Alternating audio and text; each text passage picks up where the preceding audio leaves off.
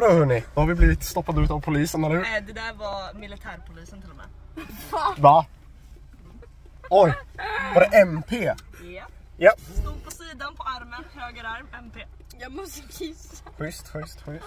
Nu, du kliver. Varför var Leo tvungen att slänga ut dosan för? Men Men du jag trodde att det skulle rädda mig. Nej, det var det faktiskt inte. Det var det värsta. Nej.